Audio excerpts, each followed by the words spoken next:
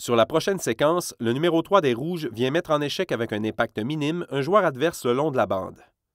Il n'a aucunement l'intention de jouer la rondelle sur cette séquence, puisque la rondelle est déjà partie dans le coin.